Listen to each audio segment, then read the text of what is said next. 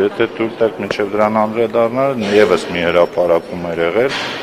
որ ես եւ հանձնաժողովի կարծեմ նախագահ խոչընդոտում ենք գազի ինչ որ մեխանիզմների ուրեմն դա էլ է կարծում եմ իր մեջ որոշակի անհեթեթություն պարունակում, որ կան մեխանիզմներ, որոնք ուզում են ներկայացնել վարչապետին, մենք խոչընդոտում ենք, ուզում եմ դրան էլ անդրադարձ կատարեմ ու պաշտոնապես էլ հայտարարեմ, եթե կա նման մարդ, որը ունի մեխանիզմներ, հաշվարկներ, ես պատրաստ եմ հենց վաղը նայել ձեր բոլորի մասնակցությամբ իրեն հրավիրել ընդունել եւ լսել ու տեսնել քննարկել բոլոր հաշվարկները։ Հիմա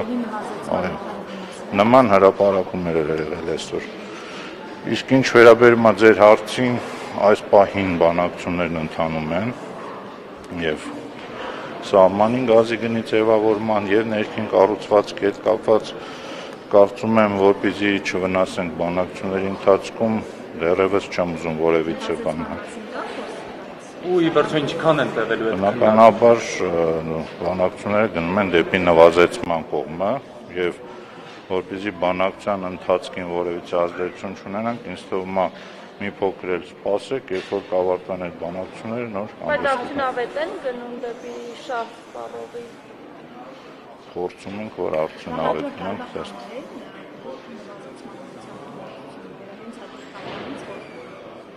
Երբ որ բանակցությունները կավարտվեն, նաև կֆիքսվեն ժամկետները։ Պարոն նախարար, Գազպրոմի հետ եք բանակցում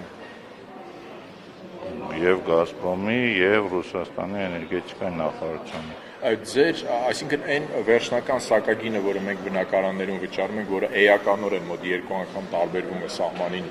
արկա սակագնից, ձեր կարծիքով բանակցությունների արդյունքում նվազելու է Եթե բանակցությունները ես արդեն նշեցի, միտված են